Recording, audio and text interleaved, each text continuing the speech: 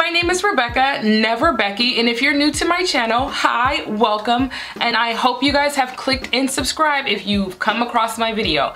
All of your support means a lot. But today I want to talk about the do's and don'ts of eyeshadow. I know it can be very complicated, so we're gonna try to decomplicate the situation. Let's go. Now that you guys are close up and all in my business, you can probably see all my bumps and bruises, but that's beside the point today. I'm gonna be getting my hair clip, guys, because this is going to be a job. We're going to go ahead and put this away because I want you guys to really see how I apply my eyeshadow and you guys how I start off my base. Please, guys, believe in the primer. The primer what saves your time and your product. So I'm gonna go ahead and start by priming my lids here. I'm gonna be using my hand. You know I like to use my hand a lot. I'm gonna start with one eye today and we're gonna work on how can we apply it. I'm looking right now, I should have pulled a lot of this out, but what I'm gonna go ahead and do is take a, it's a concealer brush. Sorry guys, it's a concealer brush. So I'm gonna take a concealer brush to apply my eye primer.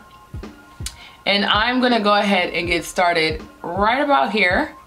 And as you guys can see, I'm taking it on the base of my eye. There is concealer on my eye, so don't worry guys. You want to do this with nothing on your lid, not with anything on your lid. So I'm gonna go ahead and again, kind of give me the arch. I'm kind of cut creasing a little bit here, guys. So gonna be using my Lisa Frank palette as an example because it has so many colors. I wanna be able to show you guys what I'm talking about. Um, so just for an example, I am using all these crazy girl colors. Now the reason why I'm using this as an example, so for instance, when you're starting off with any colors that you guys are choosing to pick, you wanna go from light to dark. Um, and this kind of is your transitional color into the next color and this color into this color. You don't have to go by that rule of thumb, but you you can use whatever color you want, but just make sure that first color that you apply on your eye um, it's it's the lightest one. And then you work your way into the darker colors. Um, the theme is kind of like right there in front of you. So if you're gonna use this color you're gonna use this color next so on and so forth. Um, even with these blues like you can use blues from lightest to darkest. It's it's not always made plain and simple like that but for this video, that's the that's the way that I would like for you guys to learn lightest to darkest. That's how you make transitional looks look smoother without that first harsh color. And you know, I get it as a makeup artist, you guys are like, that's overwhelming. So sometimes when I'm doing my looks, I try to, you know, have an idea of what I want before going into it. So I would definitely suggest you guys trying to start off with lighter colors and working your way in even if we're gonna do something basic. So I'm gonna show you what to do here and what not to do on this eye. So let's focus right now on what we should be doing. What I'm gonna go ahead and do is start here. And what I'm gonna do is just slightly buff this color onto my eye. I'm not gonna do anything extreme. This is just for the transition. So we're just gonna do light strokes right around the brow area. We're gonna start this high up because this is how, you know, you want to start your colors. You don't want anything intense too fast.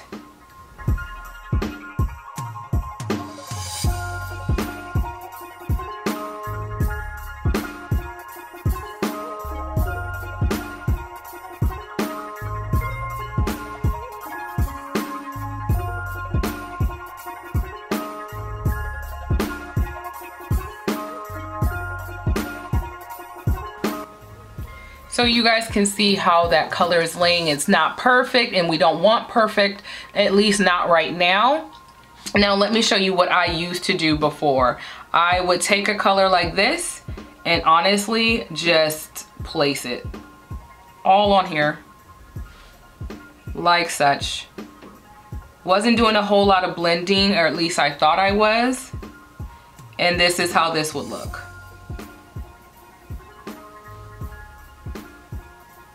And I'm not exaggerating, this is just what I would do, which these are common mistakes. We see a color, we like it, we go intensely hard on it. Um, I will put a little more color into this one, but we want it to look smooth. We don't want it to look bluntly extreme, if you guys can see that. It's a softer blend here. We want it there, but we don't want it too harshly. Where this is just like you're just you're just adding a lot. You're adding a lot and it's not that this is horrible. It's just this is not how you want the first shade of your um let me rephrase that. You this is not bad. It's just you don't want your color, your first transitional color to be this intense, unless that's what you're looking for, which typically we're not. We want it to be nice, soft, it's there, we can see it, but it's not the entire look, right? So I'm gonna go ahead and move on with another color, switching out my brush. And just so you guys know, I'm using E, this brush here is an E23 by ColourPop, and this was the Stone Cold um, collection. So if you guys are interested, that's this is what I'm using. Um, I will give you guys a little close up. So you can see this brush is fluffy.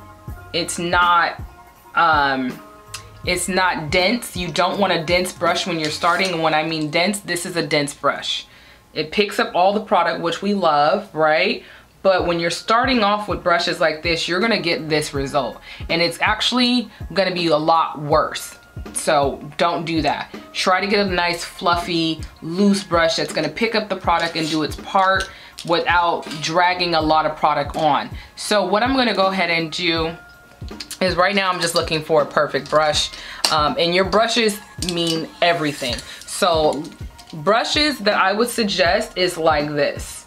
All these types of brushes that have fluffy, I mean, this one's a little angled more than the others, but they are, it's nice and fluffy. You can get the job done this way. Um, same with these, they're fluffy brushes. I got these from Morphe and some from ColourPop, as you guys know. Um, but I'm gonna use this um, E22 by the, the Stone Co Code um, selection from ColourPop. And what I'm gonna go ahead and do is make this intense. Um, and how I like to do it is really, really simple and I'm not gonna complicate it. Um, I like to use bold colors so you guys can really see what your girl is working with. So what I'm gonna go ahead and do is to intensify this look is add a darker color. Can you see that? And I'm not being heavy-handed. You don't wanna be heavy-handed on this look because it can really escalate and I don't think that's what anybody want. But can you see that definition? Now it's kind of like, an, it's giving it definition. I don't know what else to say but that. Um, and I'm just gonna intensify it. And you can use, again, whatever color you want, but this is what you're aiming to do and stay underneath this bone now.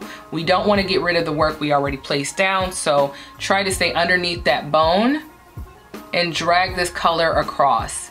And I'm going to only keep it right underneath because I'm going to then show you guys what I would do to add more like pop to it. You know what I mean? You know what I mean. So I'm just I'm just placing this color right here. Not going too hard, not going too crazy with this look. So this is what I want to do is just add a little bit of warmth, some definition right across. Again, I'm taking this color all the way over. And again, everyone has a preference in how they like to apply their eyeshadow. Um, but this is still should be the way that you are learning how to do eyeshadow is by taking the lighter color, another color that's probably similar and deeper, taking that type of color right underneath.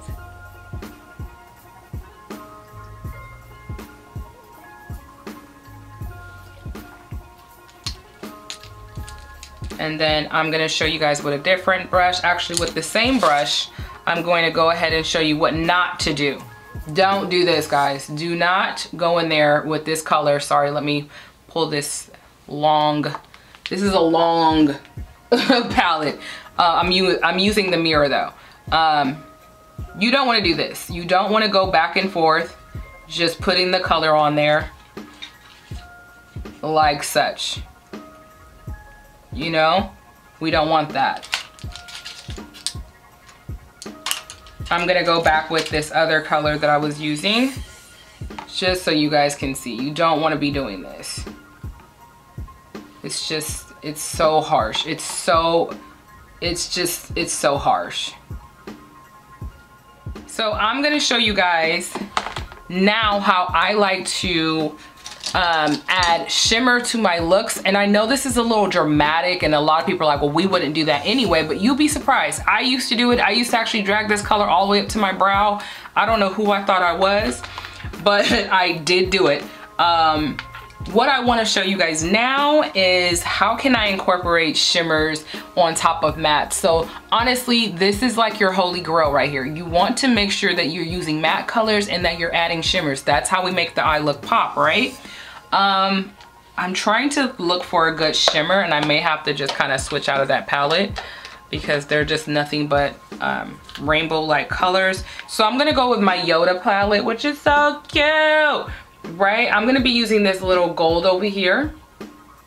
I'm sorry, this gold here, I'm gonna be using this gold. And we're gonna go in and really make this whole look come together. And honestly, it's literally this simple. It's not complicated. Don't overcomplicate your shadows.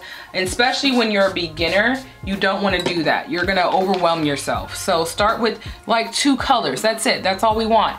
And then what we're gonna do is just add some shimmer we're just gonna add a little bit of shimmer in here. I'm not even gonna take it all the way up as I normally would like to do. I wanna show you guys, cause all lids are different and they're shaped differently. You don't wanna go too crazy. So I'm gonna show you guys how to keep it kinda on the normal side.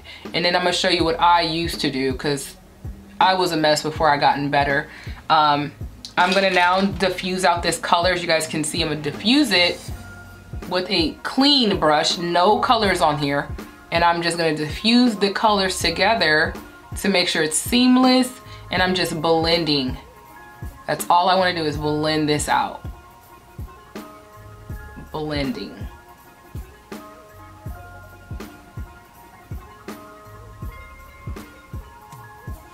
And you're always welcome to go back in if you want to intensify this look, go back in with that color and just intensify it just like that. No more, no less. And then make sure that you're diffusing out those harsh lines with a clean brush. And this is what you should get. This is it.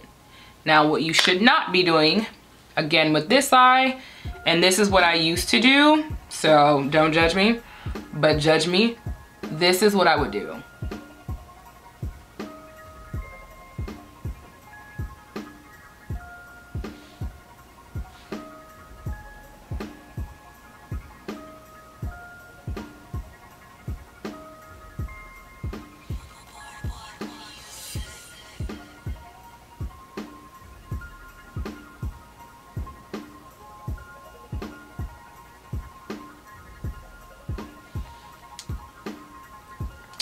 And I would put more pizzazz and, and jazz this up a little bit more, but honestly, this is kind of like what I would feel like that was good enough for me and I felt like I accomplished something um, and I really wasn't. So, so you guys can now see what you should be doing, what you should not be doing. And the reason in that I show you so dramatically with these colors because I really want you to see the definition, how, what it looks like when you're blending. And this already looks 20 times better than something like this. If this is what you are doing, stop it now. I'm teaching you how detailed, how you can see the pink, how you can see the intenser like orangey pink here, and then just a little bit of shimmer. And I still diffused it, you know what I mean? Where here, it is just color and then shimmer. And again, yes, this is a little bit dramatic. The, these colors you probably wouldn't typically grab for, but it doesn't even matter if it's something but the reality is, is that This is what a lot of us make mistakes because we get overwhelmed, we're applying way too much, we're not taking our time in blending. So this is the look that we tend to look and we'll be like, oh, this looks crazy and wipe it off. When if you just learn how to like this eye, it's just a lot more cohesive. Even though these crazy colors are on my face, it looks good when you're doing it the proper way. You can literally use this method no matter what eyeshadows you're using um, always think light to dark. Do not just place on your lid one color because one thing I will say with makeup artists is, is that you never know how many colors are going into it. So don't just, you know, look at a picture and think that's two, three colors. Um, or, you know, think that it's more colors than what it isn't. Sometimes it is about three colors. Sometimes it's about one color and sometimes it's more you have to make sure when you're doing it that you just stick to what you know. And if you want to do intricate looks, um, always start with light to dark. Um, always use a primer, guys, because that's going to help you in the long run. Um, and try to make sure that you use the lightest color all over the lid, but not into your brow. Do not do this. This is like, this, doing your colors this high up, I can't even see, but I, doing your colors all the way up in here, all the way up in your brow, that's not a thing. I just wanna make that clear. Unless you're doing um, a dramatic look and it's intentional, this, because I'm the queen of eyeshadows into your brows. I'm the queen of this moment right here. This is not it. Don't do this and then have the audacity to put shimmer there too we need some space where it's nice coloration you know that's happening and like it stays right up in here. It should not go into your brow that's not natural looking. And, and for me I don't like my brows to be colored. I do like that it's high up. That's fine. But I don't want it to go into that brow this this is this is not okay. If you're blending and you're using all that space on your brow all the way up into your brow this is the look you're gonna get. And to me this looks insane. So let's try to avoid that by all means. Um, and what we want to do is focus all the deep rich colors on the center in the center of your eye. Even if you wanted to bring that color even more into your look you can. As long as you're doing it where it's noticeably intentional. And I feel like that's the best way I can word it. I'm not really good with my words, guys, but you know, you wanna make sure that your intense colors are about here, outside of the eye. You don't want the intense color to be in focused right here. You want the nice light colors and your shimmers to be about here, and then that transitional color right here. So when you go in with your shimmers or whatever color you're choosing to use, you already have a diffused look. Where here, we just, we got a lot happening. You know, we got a, we got all this shimmer that's not quite blended at all. Um, we have this harsh line that's not blended at all. And then, you know, we have it all the way up in our brows. These are not, these are not, this is not what we want, you know? This is not what we want. So I'm gonna move on to liner. So now that I've showed you guys what should you should do and what you shouldn't do, I'm gonna show you what you should and should not do with your eyeliner. And I will put a disclaimer, I'm a work in progress when it comes to eyeliner. I, I honestly don't like eyeliner and that's because I just like my eyes to look as big as possible and I feel like eyeliner kind of makes your eyes look small depends on how much you put on so I'm very light-handed when it comes to eyeliner but I'm gonna show you guys this is what I would do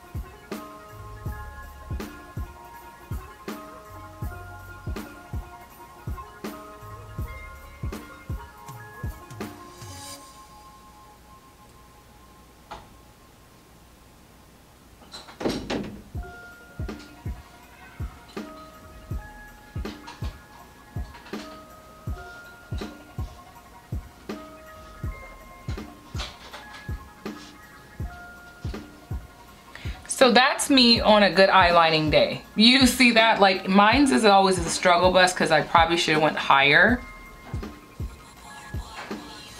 But this is what my eyeliner looks like. Like this is a good eyeliner for me.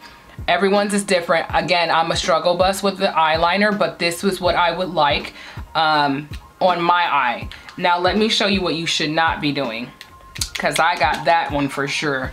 Um, do not be heavy-handed and literally do this and go as high as you can from the beginning when you're starting because this is too thick. Personally speaking, this is too thick. This is way too much. And then what's gonna happen is you're gonna have an unrealistic um, thickness happening that you have to keep up all the way to the end. So this is a no-no. This is an absolute no-no.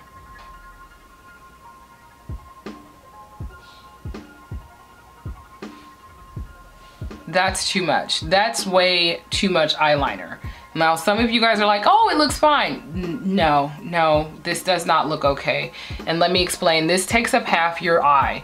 Like when I look up, all you see is black and orange, somewhat gold. This is like just the right amount of eyeliner I would suggest to anyone is right about here this is too much. It's too thick, you're laying it on too heavy.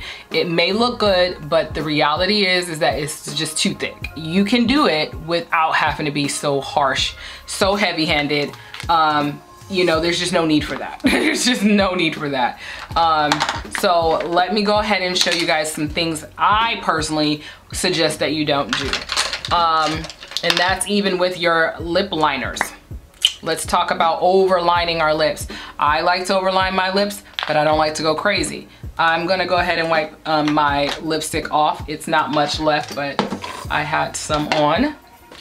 Let's move on to lip lining. So here's some do's and don'ts. Again, this is the don't side. Don't do this. Don't do this to your eyes.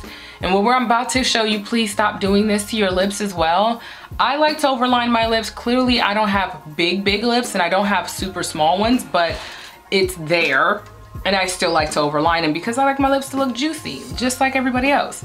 I'm gonna show you guys as an example what you should and should not be doing. If we're overlining the lips, I'm gonna start on this side to show you what you should be doing. And then on the other side, I'm gonna show you what you shouldn't be doing.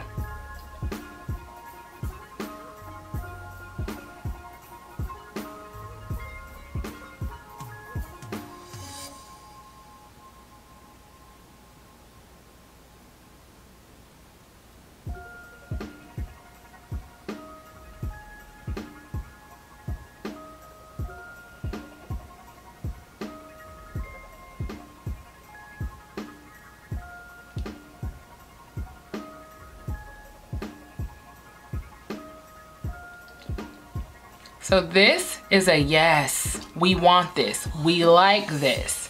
This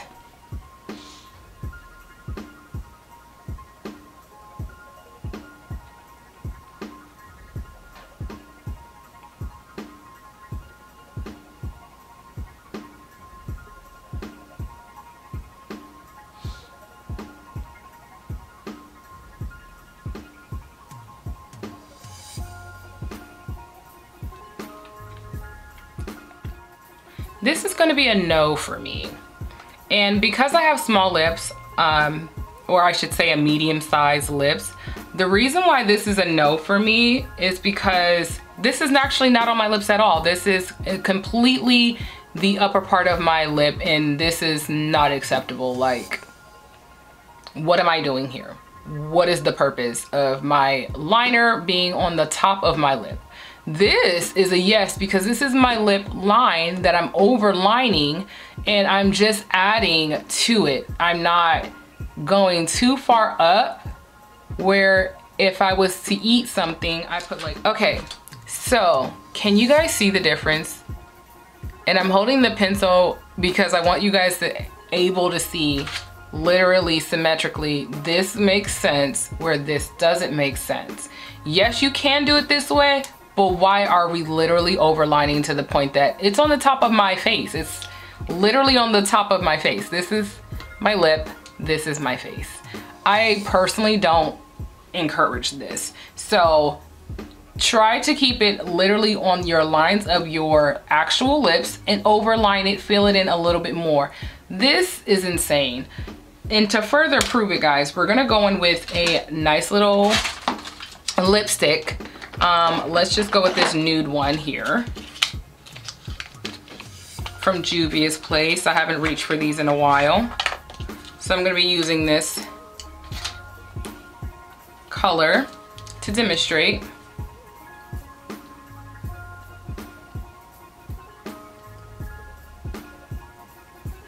See what this looks like in comparison to that. I hate this. This, this is crazy. Yes, it makes my lips just a smudge bit fuller looking, but in person, this looks crazy. Where this looks natural, this looks like my lip, this looks like what, what's going on, what's, what's happening to you. This whole side of my face looks like why. Um, I'm gonna go ahead and move on so you guys can see the entire look. We're gonna move on to blush and what not to do versus what we should be doing with our blush. So we're not gonna apply our blush this way by smiling and just applying. Do you, do you see? Do you see where this is going? This is what some of y'all look like out there. Versus taking a little bit of that blush, we're gonna make sure all that excess is off and we're just gonna add it to the, we can add it to the apples of the cheeks. And I have a very narrow face, so I add literally just a smudge. And what I like to do is use damp like tapping motions, sorry. I like to use tapping motions and I like to even bring it up. Why not? Bring it up into the hair, into the face. That's only if you feeling, you know, a little feeling yourself and you wanna take a risk. But if you don't, you just stay literally, you can smile, but what we don't want is just to immediately start here. Start on the sides of your face, work that product to the apples of your cheeks and let it come to the back. That's where we want all that color at. We don't want the color immediately when you see. Can you see how that looks? Even with me bringing it up to my temple, it still looks very natural. This is this is a no. This is a no. This is this is a no-no, okay? So this do and don't is a real thing. So just try to make sure that this is how you're applying your eyeshadows, your blushes, your highlighters, your lip line, your lip liners. Like this is what, I can't even stress it. Just don't go out your house looking like this. You know, your girl's here, she's trying to save y'all, so we can do this more. I would love to see less of this and more of this. but that is it, guys. I'm gonna go ahead and end out this video, and I will see you in my next one.